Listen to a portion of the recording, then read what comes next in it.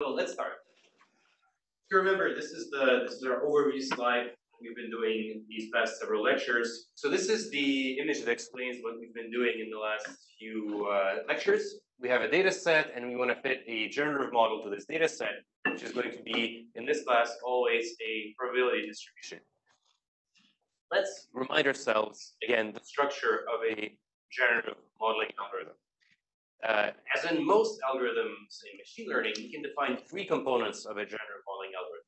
The first one is the model, or maybe more being more precise, I would say it's the model family, which is uh, the form or the type of distribution that we're going to fit to the data.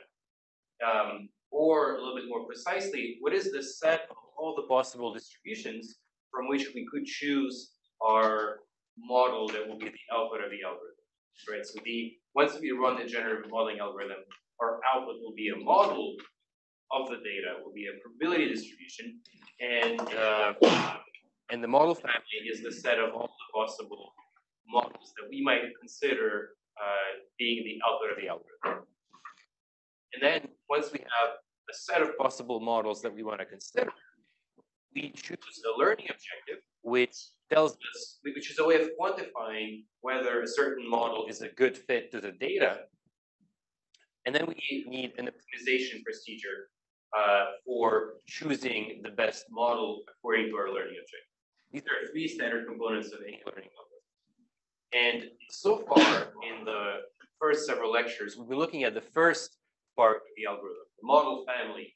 How do we represent the this, this probabilistic model? What kind of formula do we use for defining a probability distribution?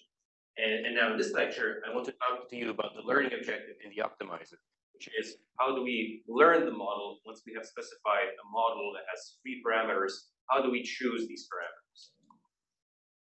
And so the outline of the lecture is going to be that uh, the, the, the format of the lecture will be that first we will look at this general objective for learning probabilistic models, uh, and in particular probabilistic generative models called maximum likelihood, we will define what it is and where it comes from.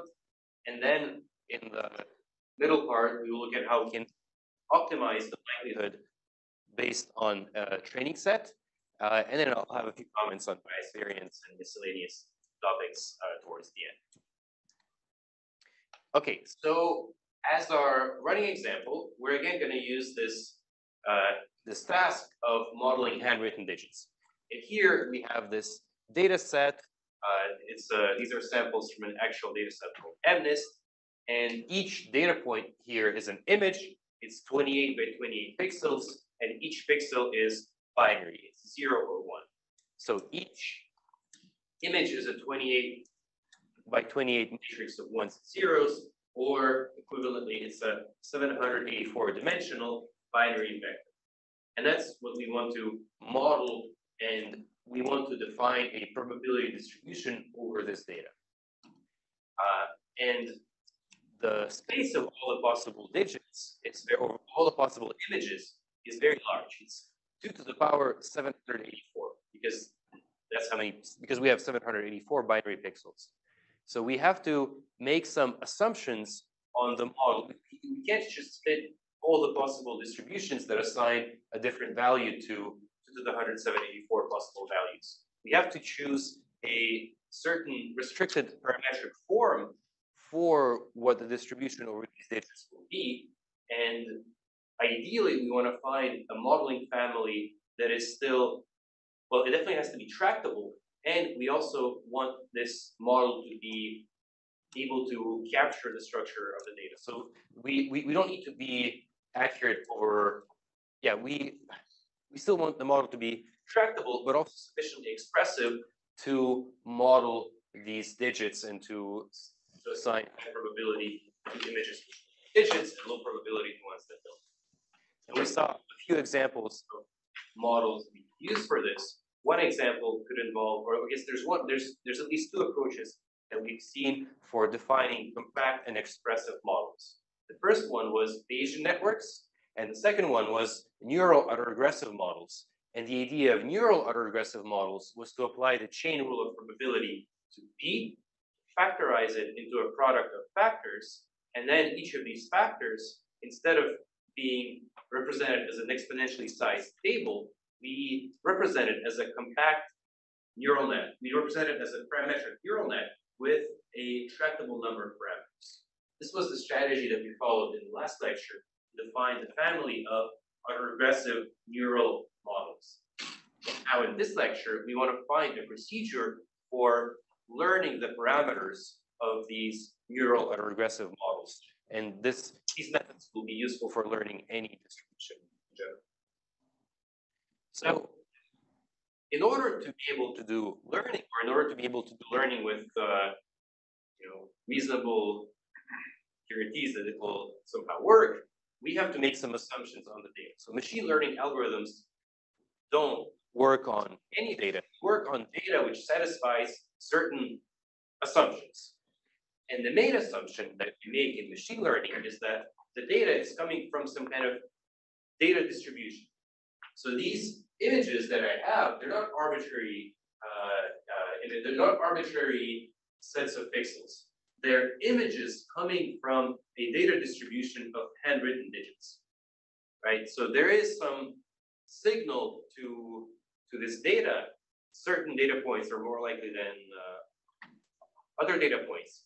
And we think of this uh, signal as being um, as coming from a data distribution. So the, we assume the data points are coming from this data distribution. And we also assume that these, um, so, uh, so uh, there's some distribution over all the images that we might want to model. But when we apply our machine learning algorithm, we have access to a data set. So a data set is a set of m samples from a data distribution. And so now our goal is to, uh, so we have these samples. Here we have uh, another example where we have images of dogs. And what we're going to try to do is, given this data set of dogs, given this model family, which is this region of the space of all the probability, probability distributions, we will want to find the set, uh, we will want to find probability within the set that is closest to the data distribution according to some distance or metric or learning objective D.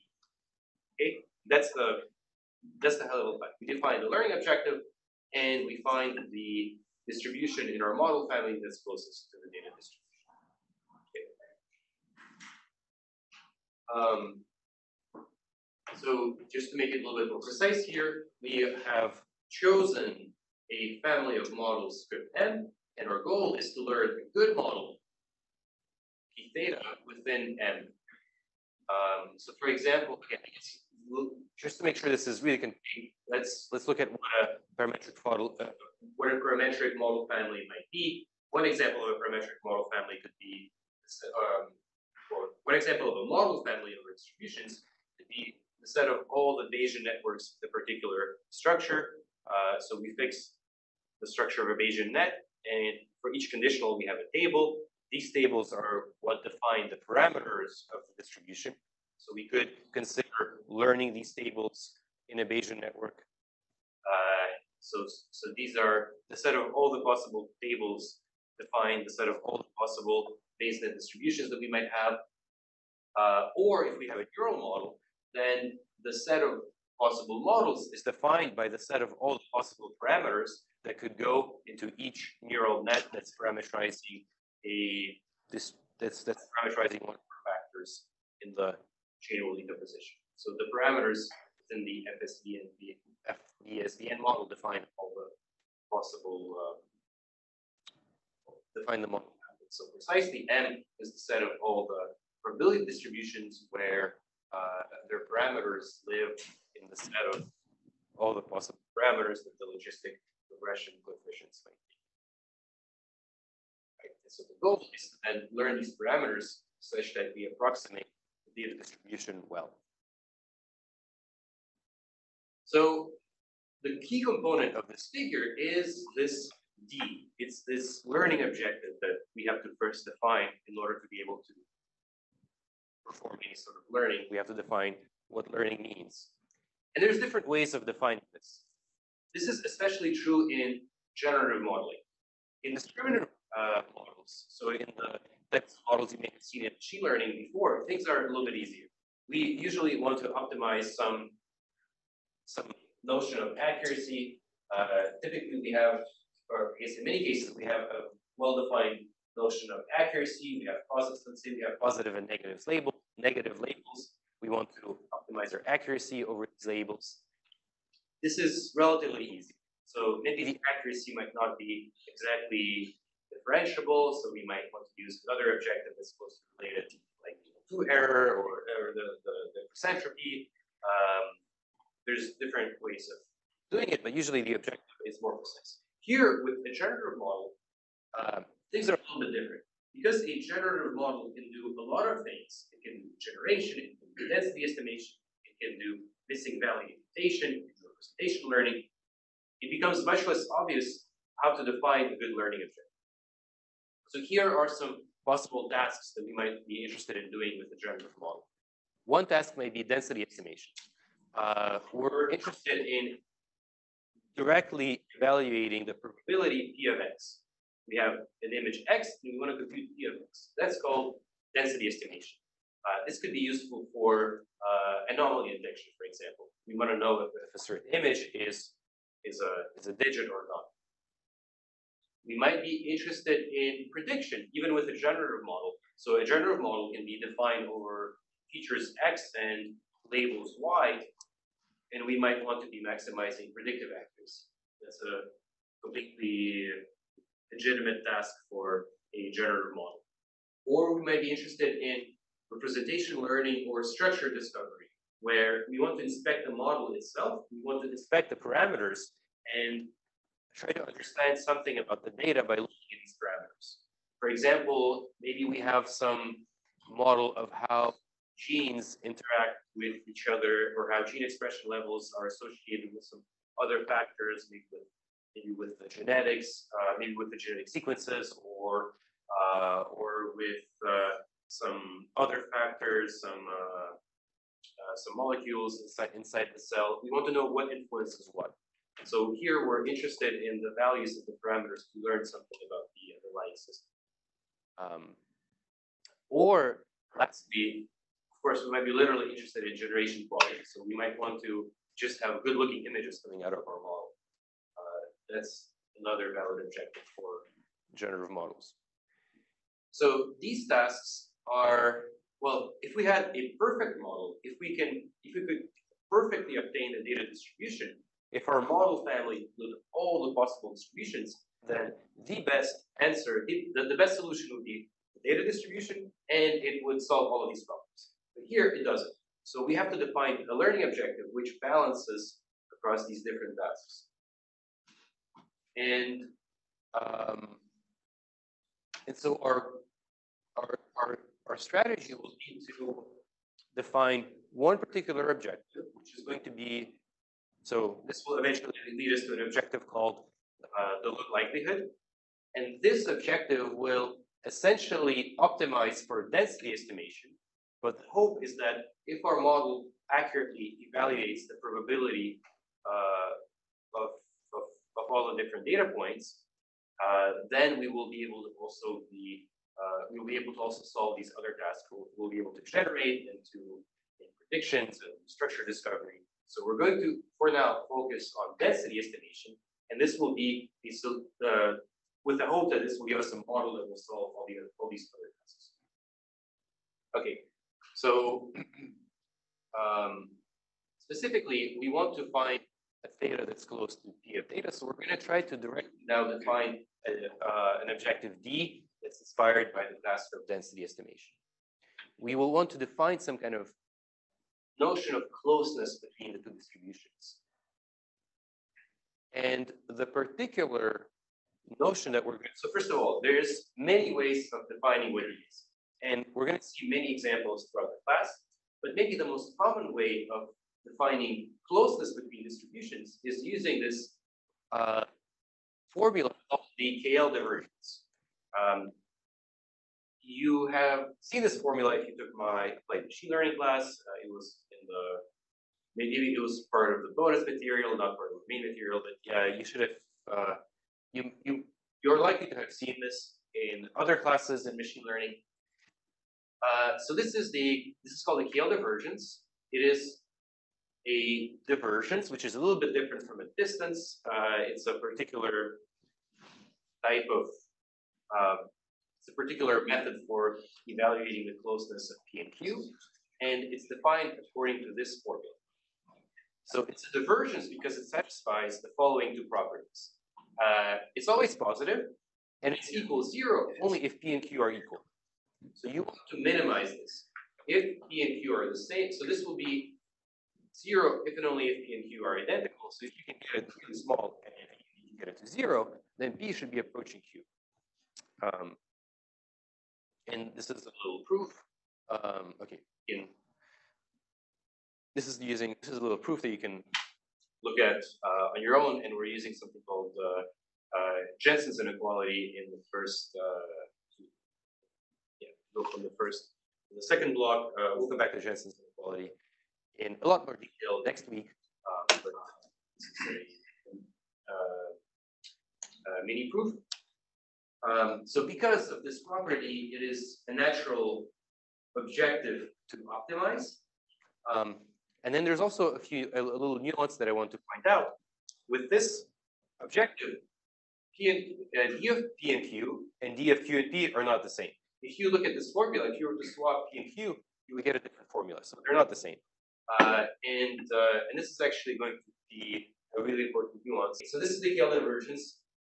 P and Q and Q and P. That gives you actually a really different formula, a really different objective, uh, even though on the surface it's similar. P and Q versus Q, PQ versus QP give you very different properties that we're going to look at in a lot more detail in two-ish weeks from now. And yeah, I guess more than three weeks from now when we look at GANs. Um, but that's just something to note here. Okay, so again, our strategy now we have this KL divergence um, objective. It has this property that we want. Uh, let's try to use it as our objective D, right? So we will try to, we, will set D to be the KL divergence, and our goal will be to minimize this objective, D of P data to P theta. And here I've just written out the math for what this means. So we're going to be trying to optimize this specific learning objective. Uh, and if we can get it to zero, then we will have learned exactly the data distribution. Okay, do you see any potential issues with this strategy? If, you, if I, so this is now my formula, I want to optimize it, let's say using gradient descent. Is there anything that, that could go wrong here? Okay, so one point is that p theta of x could be zero. That does that doesn't sound great, right? Uh, so that's actually a really good point. It's much more nuanced than the, uh, I had something really obvious in mind, but this is a more subtle point, which will, we will talk about in two to three weeks uh, when we talk about different, yeah, we will, we will look at detail, we'll look at properties of this in more detail. Uh, that, that's a really good point. If, so you never want of theta of x to be zero, which means that this probability distribution will try to assign some positive probability to every possible input, which might not be what we want. I will come back to this later, but that's a very uh, good point. But I have something much more simpler in mind. What might be wrong with this? Yes, the p data multiplier part of the log. Like, what is p data? You, you don't have p data. It's a it's a distribution that exists somewhere. It's like a platonic idea of a of a distribution. You don't actually have p data. You know, we assume that it exists, but we only have samples from p data. We don't have p data. So if you wanted to put this into your computer, you would have to, if you wanted to evaluate it, you have to evaluate the data. But how do you evaluate the data? You just have a data training set. That's what I had in mind. It is possible to do this in practice by applying something called Monte Carlo, which is what I'm going to show in the next uh, four or five slides. So yes, uh, you're totally right. Um, but even before we do this, we're going to make a few simplifications. Again, the problem is that P data, we don't we don't have that. So we have to somehow massage our objective into something we can optimize. So the first thing that we do is we know we observe that here we have the log of a, okay, first of all, um, as you said correctly, this is an expected an expected value. We sum over all the x's, and uh, so here in this example, x is discrete, but the same thing holds when x is continuous. Uh, here we have a sum of a certain term that's multiplied by a probability. So this is an expected value. This is an expected value of this term relative to where, where the expectation is taken over x that's sampled from the data distribution. Okay, so now I have an expectation. Now the term inside the expectation is the log of a uh, ratio of the distributions. So I can write that as the difference between two logs. Now I have log of p data, log of p model. And what's interesting here is that the first term does not involve the model parameters at all. Which means that if our goal is to simply optimize over theta, right, our goal is to minimize this objective, find a good set of theta, we don't care about the first term, we could just drop it, right? So if our goal is to minimize the KL divergence, this is going to be equivalent to maximizing the, the second term here, log p theta, expected log of p theta of x. And because it has a minus in front, minimizing KL divergence is equivalent to maximizing this, this other term. And this other term is we, we, what we call the expected log likelihood, right? Um, let's just stare at this log likelihood term for a moment to get some intuition for what it's doing. So this is the log probability of the data, of the data coming from our data distribution. Um, it's the it's the log probability of the data under our model. So the x that goes inside the log p of theta, it comes from the data distribution. And if we maximize log p of theta of x, we're asking the model to assign high probability to, to, to x's that come from the data distribution. Does that make sense? So if we sample instances from the data distribution, we want these, we want the data points that come from the data distribution, such as images of digits or images of dogs or sentences that are written by the person that we're modeling. We want that data to have high probability under the model. This is literally what the maximum, uh, uh, what the expected log likelihood term is asking. Okay. Um, and and and we don't again we don't care about the first term. We only care about the the second term. Um, does this see, does this sound intuitive to you? Maximizing the log likelihood means maximizing the log probability of the data. That's what we want. Okay, but we still have a problem. Um, I guess technically this objective, technically the log likelihood objective no longer has, uh, well, well, it still has no, it still has p data in it it's, it's the, even though it doesn't appear as obviously as it did before, we still need P data to compute the expected value, but we don't have P, P, P data. So what do we do? We, we're going to use something called uh, Monte Carlo estimation. So now I'm going to switch to the second block uh, of, of, the, of this lecture, which is going to be about how do we optimize this objective. So we've, we've used here KL divergence to derive a learning objective, which is going to be the maximum likelihood. Next, let's look at how we can maximize it. And again, the first issue that we have here is that we can't really optimize it yet because we don't know the data distribution. But what we do have instead are samples from a data distribution. So as you pointed out, we can still use these samples to derive a technique for optimizing uh, for optimizing the actual expected log likelihood that we're interested in. And this technique will be based on an idea called Monte Carlo estimation. First of all, what is Monte Carlo uh, estimation? Let's say that we're interested in optimizing the expected value of some function g of x, where x is a random variable that's drawn from a probability distribution. Okay. Um, we might not know p, or or we might know p, but there's just too many set, but the, the dimensionality of x might be so large that we can that we cannot enumerate all the x's. So we can't actually compute the sum over all the possible x's because there's too many of them, or we might not know p at all, so that's more complicated. What we can do instead is, let's say that we can draw samples from p. We, we might not be able to evaluate p, but let's say we can draw samples from p. And let's say that we have generated capital T of such samples that we're going to denote by x1 up to xt. So the Monte Carlo uh, estimator for this expected value of g of x is, we're going to call this g hat of x. And it's literally the average of g over the samples that we drew over our distribution. So this should already seem a bit intuitive. If we have an expected value where the random variable is taken from some distribution p, well, we can sample uh, x's from the distribution, take the average of g at those samples, and that should be a guess or an estimate for what the original distribution, for what the for what the true quantity, for what the true expectation g of x is. Okay, and we're going to denote this estimate by g hat. Um, do you agree that this is a intuitive thing to do? If I want to get the expectation, I take samples from the distribution, I average them. This gives me an estimator. Oh, this gives me an estimator of g hat.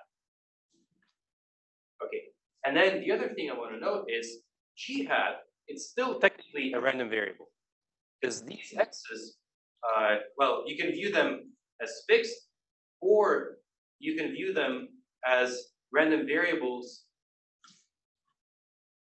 I guess once we have made the samples, they're fixed. Now hat evaluates some quantity, but if you view them as random quantities that could depend on the randomness of each draw of t samples, then g hat is also a random variable.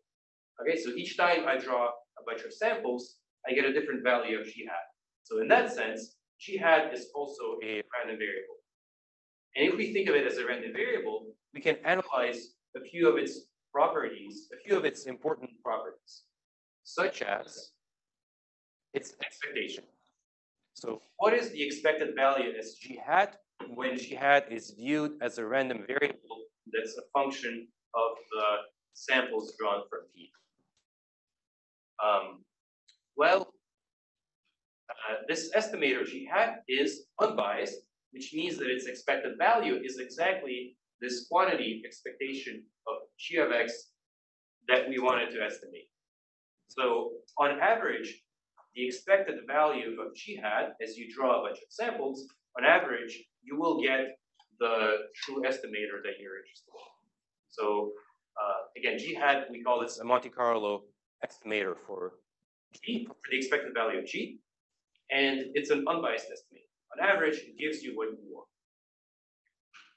Uh, the other thing is, as you keep drawing more and more samples, right? So you can also view um, you can you can define g hat as the limit of the of each. Um, so as you draw more and more variables, you can look at what is the limit to which g hat will go as you as you give it more and more samples.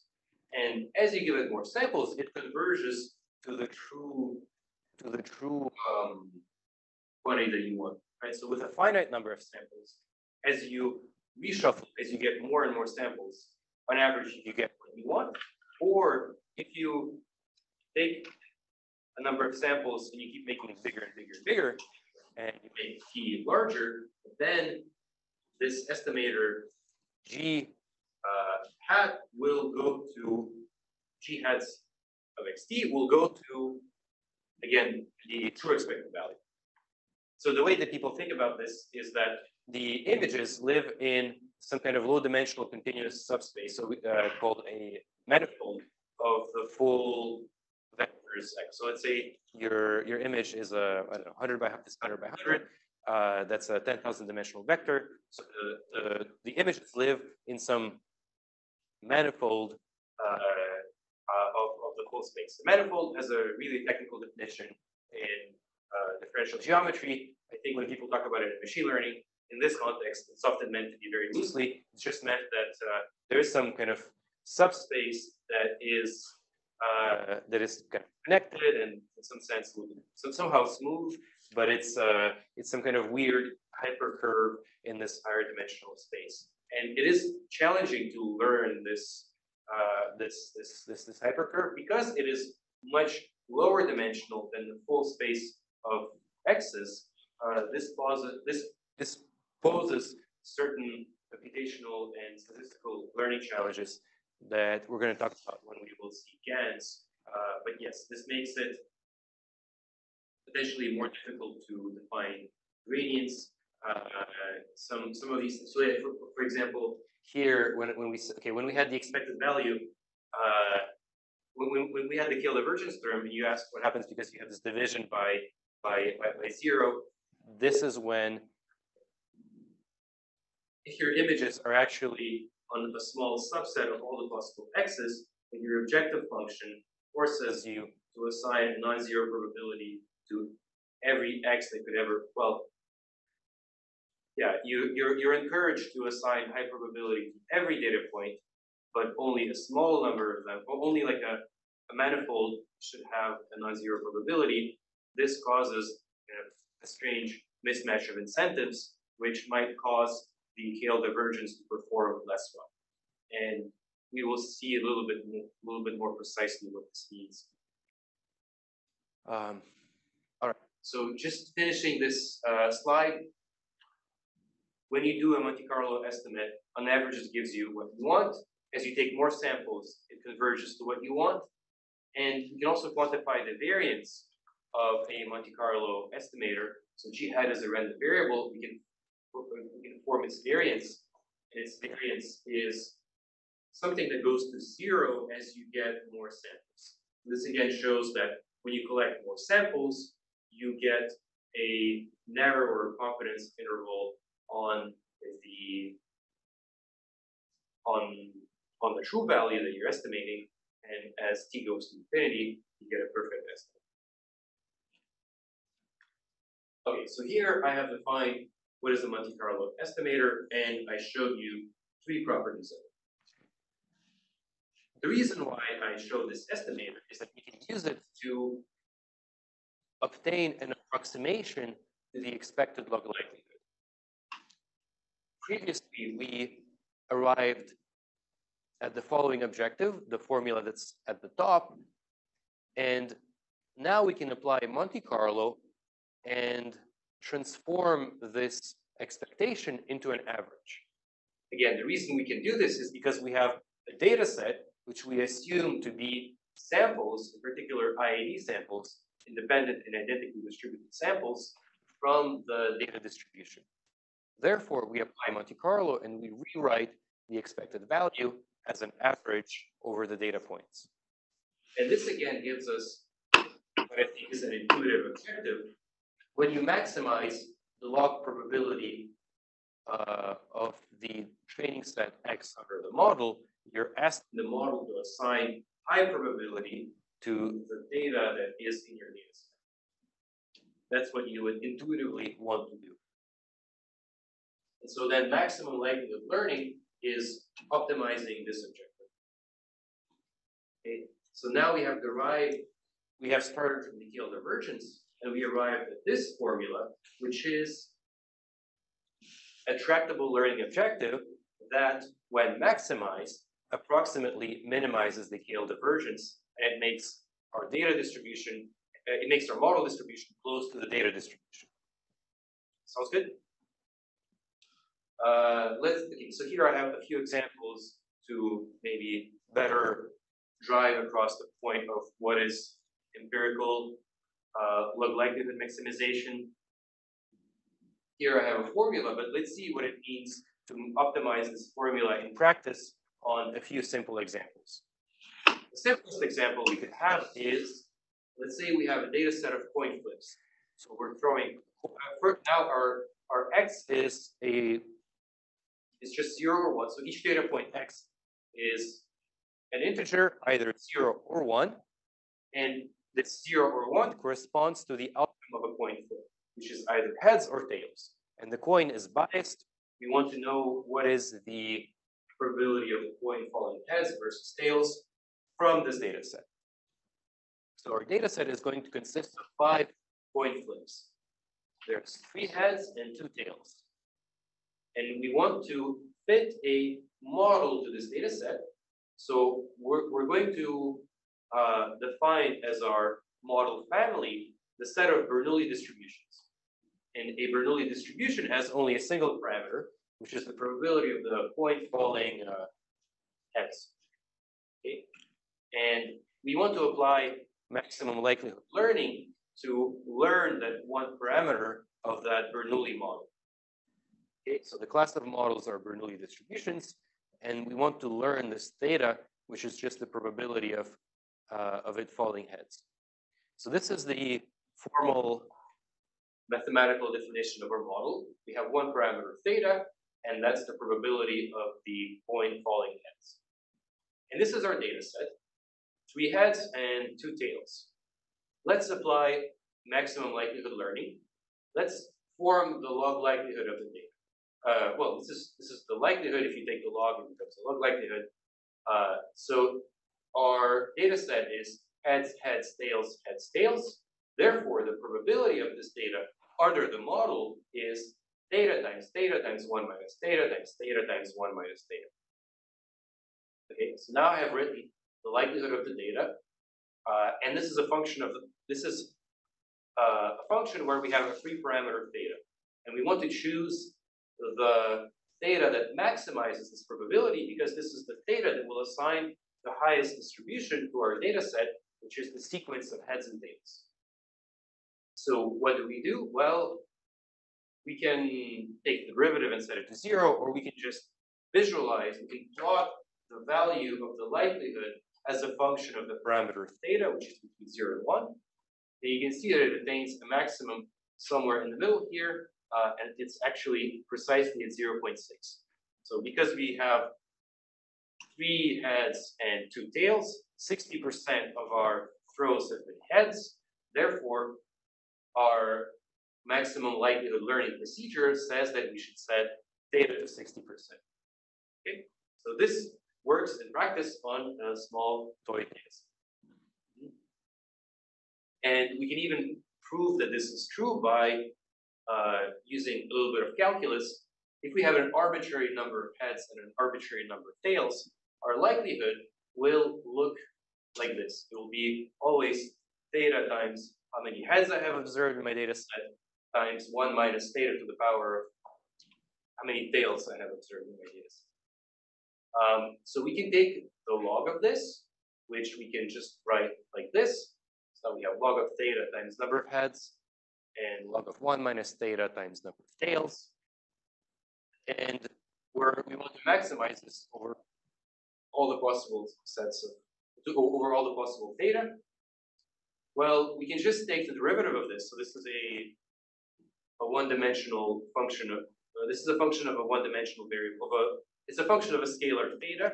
You can take its derivative, set it to zero, solve for theta, and if you do the exercise, you will find that theta star, the maximizer of this, will always be number of heads divided by number of heads plus tails. So maximum likelihood learning gives you sensible solutions in situations like this one. And this same principle can extend to more complicated probability distributions as well. Let's take this one step further. Instead of fitting a simple Bernoulli, let's say that we're trying to fit a Bayesian network over, over this data. And you could even assume that each xi, so each xi is a component of, of, of this vector x. So each data point is a vector. The xi denotes the components of an x. And you could assume here that each xi is binary if you want. Uh, and uh, the full distribution over the vector x factorizes as a Bayesian network. Here, PA of xi are the parents of xi in the in the Bayesian in, in the graph that defines the Bayesian network.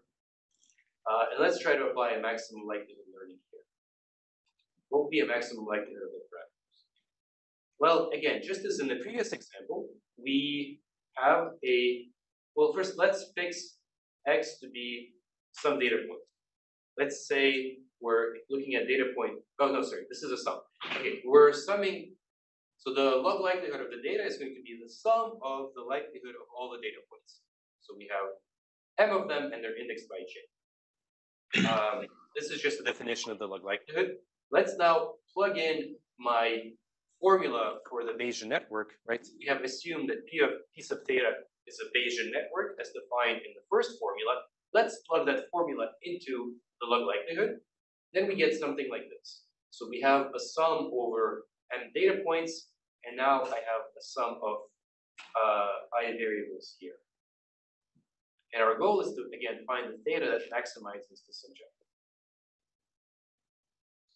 What's interesting here is that I have one set of parameters for each xi in a Bayesian network. So xi, um, in a Bayesian network, each of these conditionals has its own set of parameters theta i.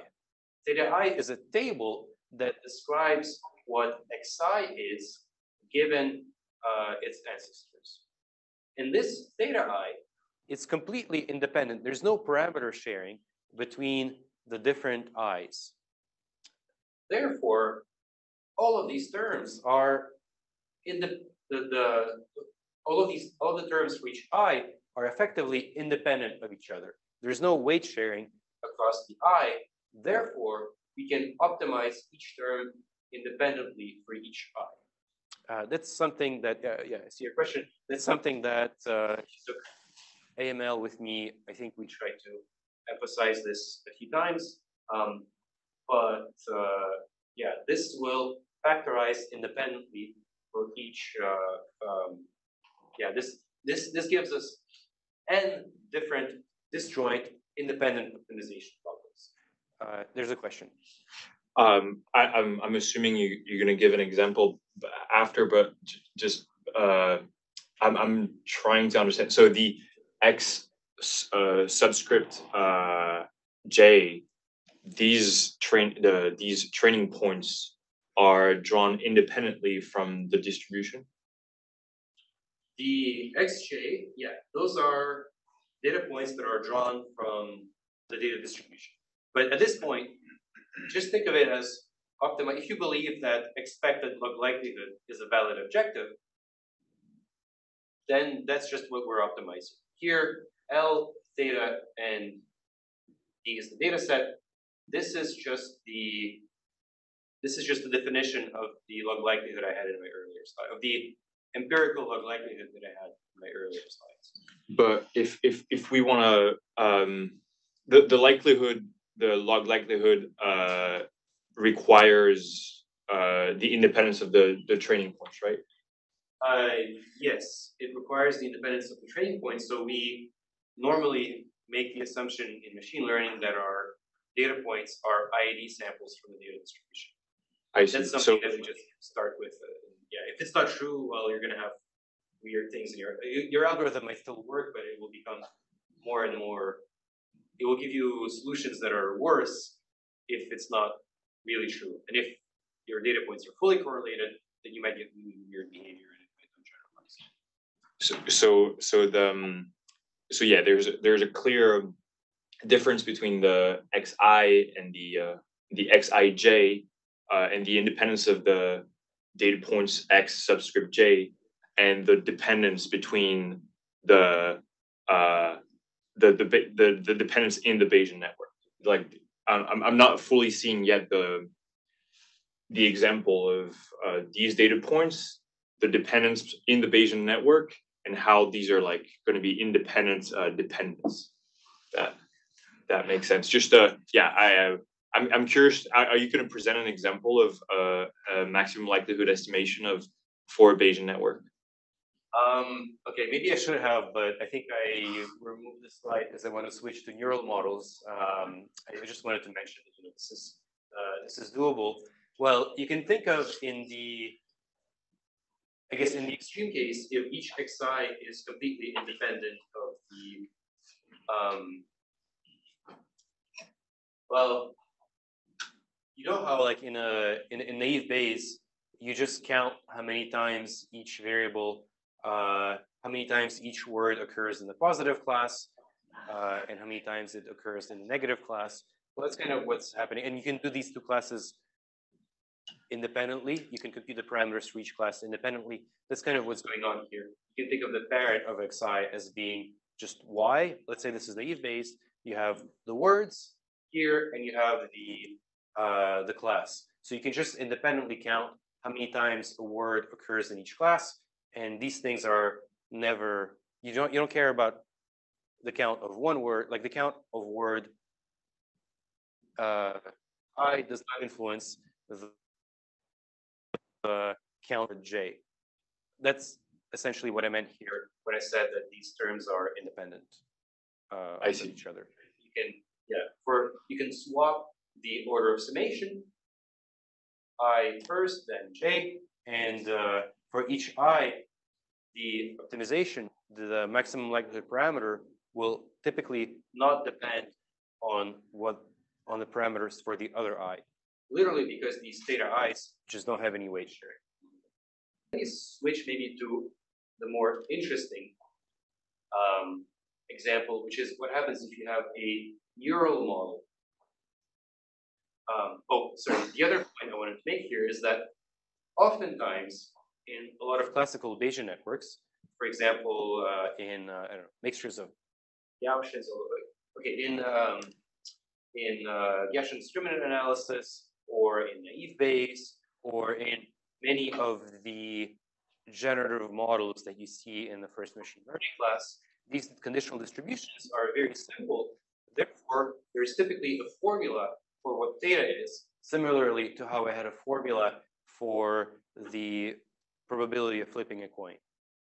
So each of these theta i's have their own separate optimization problem.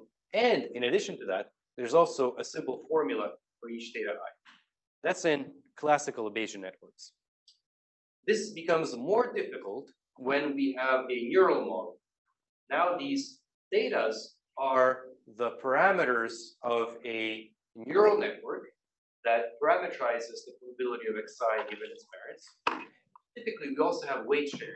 You remember we talked about weight sharing in um, in the uh, NADE model, uh, neural regressive density estimator. Here we had we had a big matrix W, and that matrix W, its columns were used to parameterize all the all these uh, all these conditionals, or in WaveNet or Pixel CNN, these conditionals are parameterized by convolutions, which are which use the same set of filters for each position xi.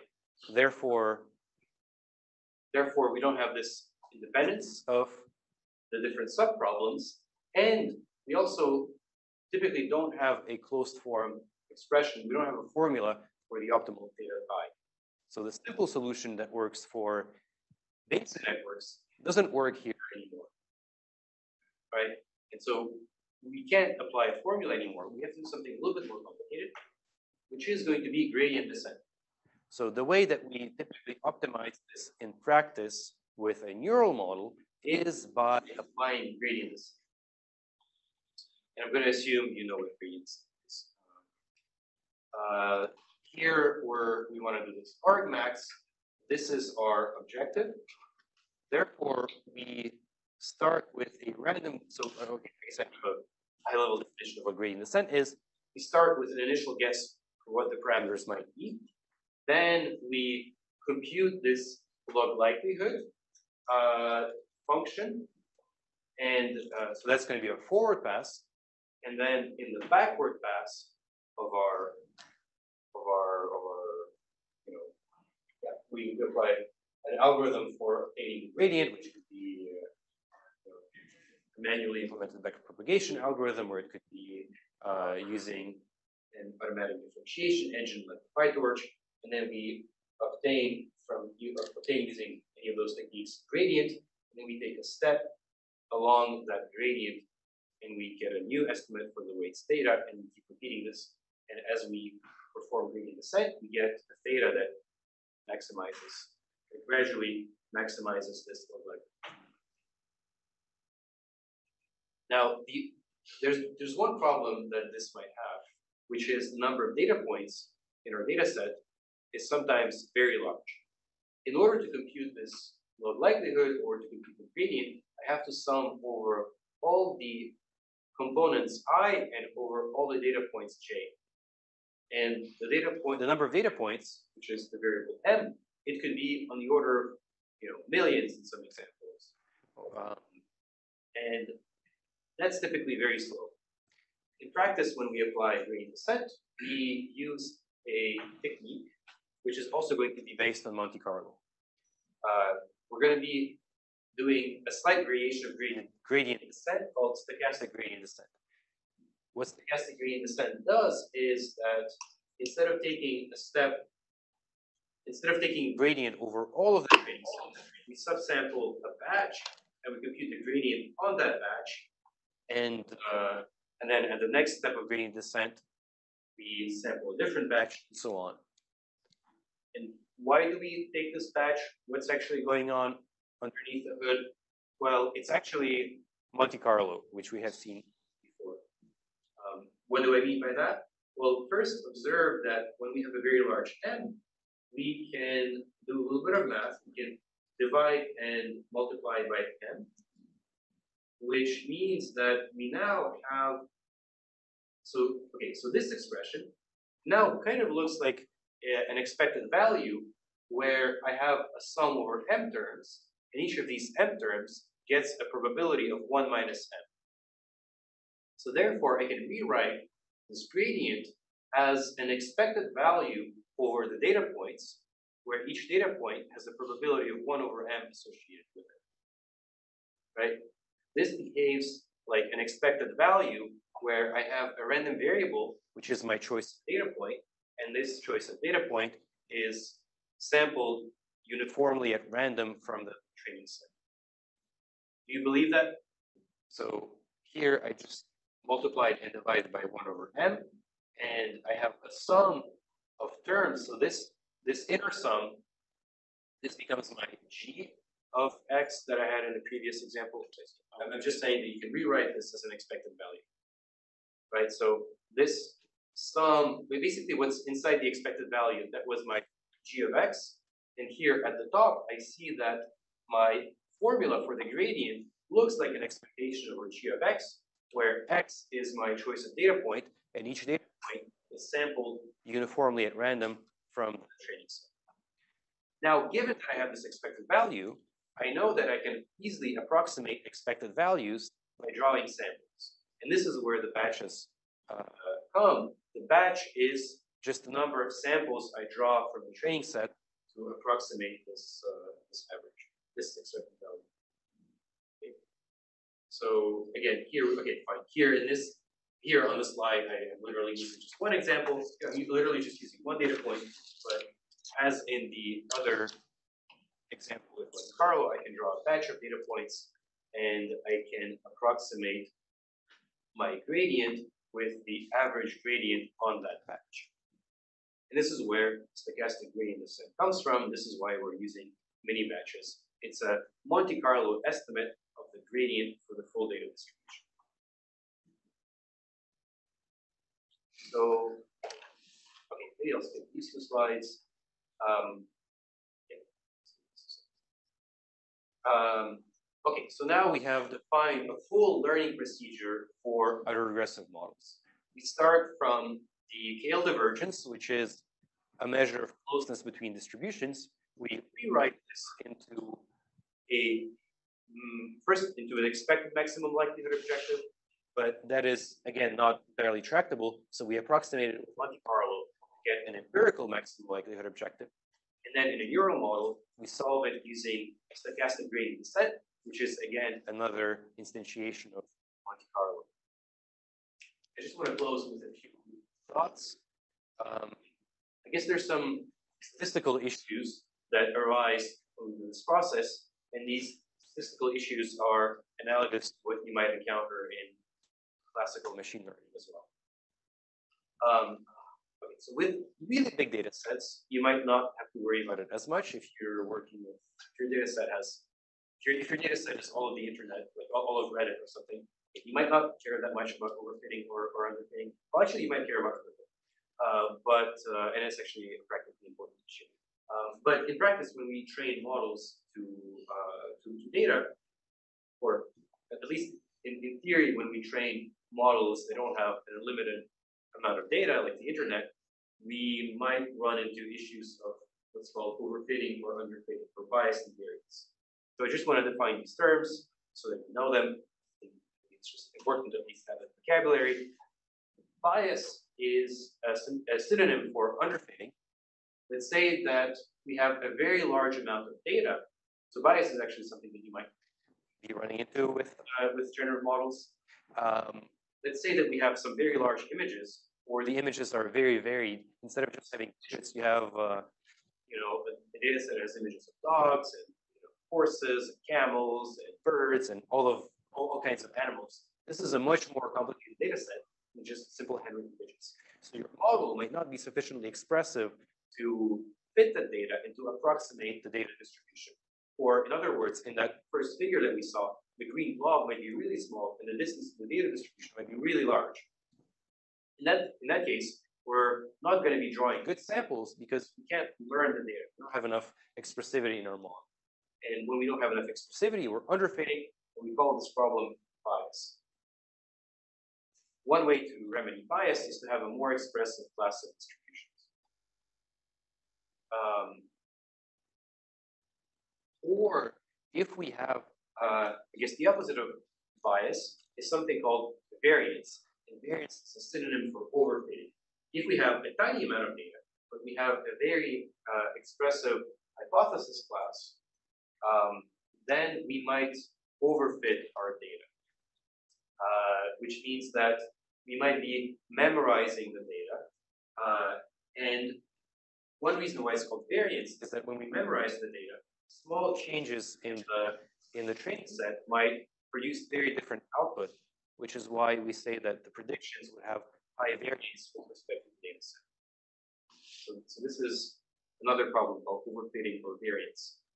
Um, so bias can definitely be a problem if you have a large data set. There's there was there's an interesting paper that came out uh, this week which shows that some of these state-of-the-art uh, generative models, state-of-the-art image model, the image generative models like diffusion models, they can sometimes memorize the training data. You can you can find images that it generates for certain prompts that are almost identical to the images that are in the training set. So in some sense, this could be viewed as as an overfitting problem. So it still generates good, it still generalizes to other images quite well, uh, ones that aren't in the training set. Um, but even with big data sets, it might still useful to be aware and think of overfitting because you could have the problem of literally memorizing your training set. And you can still be good outside the, the, the training set, but you might not want to memorize your training set because the images of which you're training might be proprietary, they might have copyright. Uh, you want to create new images, but memorizing existing images could be a problem. This is the bias. Uh, oh, and I guess there's a trade-off between the two. If you have a if you have a linear model to fit this complicated data set, this is bad, gives you bad fit. This is an example of underfitting. Uh, and then the, if you use a more complicated data set, you might have something which doesn't look like the true signal, which is much simpler. And so there is always a trade-off between the two. If you make it too complex, you overfit. If you make it too simple, you underfit. And a good balance between the two is best. Um, you can reduce these problems by either making the model class more expressive or less expressive, or for overfitting, there's techniques like regularization, which are still used in large generative models. Even, even like a couple weeks ago, a few papers came out that emphasize the importance of applying regularization techniques like dropout in large diffusion models. So they're not these these techniques are still not completely uh, relevant even with very large data sets. Um, applying weight sharing is a form of reducing the space of the parameters. And again, the idea of regularization is to penalize the complexity of the of the, of the class of models that we're that we're that we're dealing with by explicitly adding a Okay, I have one more thing here before I conclude. In everything that we talked about, we always assume that we just have X and we don't have any Y. But there are some tasks where we have both Y and X, and this Y could be also very high dimensional.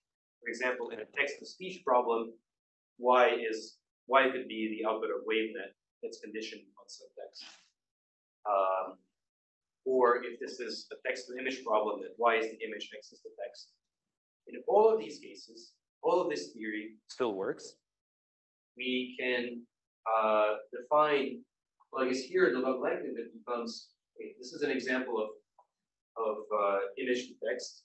Again, this is a high dimensional input, but we also output a high dimensional object, such as a sentence or an image, and therefore it's still an instance of generative models. And we can optimize these models by maximizing the log likelihood, the conditional log likelihood, p of y given x. So given a data set of y and x, we choose theta that assign higher probability to the correct y given x.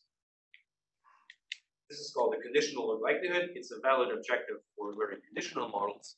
And on the assignment, one of the problems is to prove that conditional uh, log likelihood is also tied to KL divergence and the framework that we've been working with. in this lecture, Uh, conditional models are also an instance of. Okay, I'll just end by recapping that in this lecture and the previous lectures, we saw neural regressive models, which work by parameterizing each conditional in the chain decomposition via a neural net.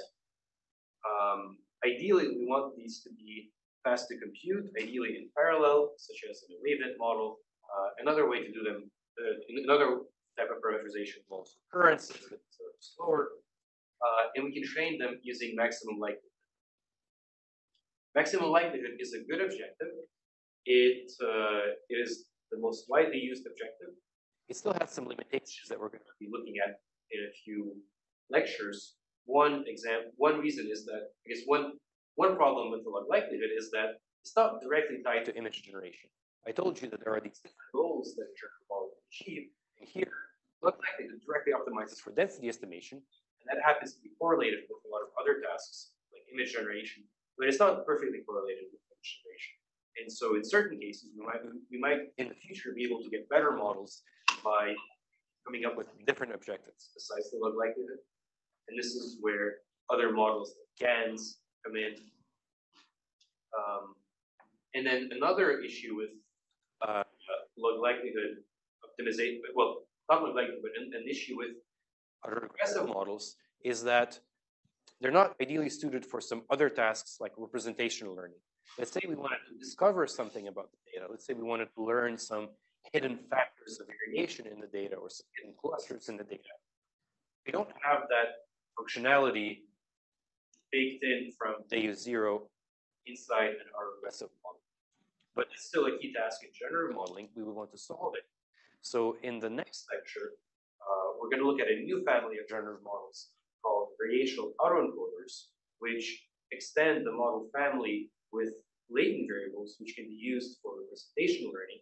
You're still going to use the same likelihood objective, but they're, they're going to parameterize the model in different ways, which will enable us to do generation as well as representational learning, which is another task.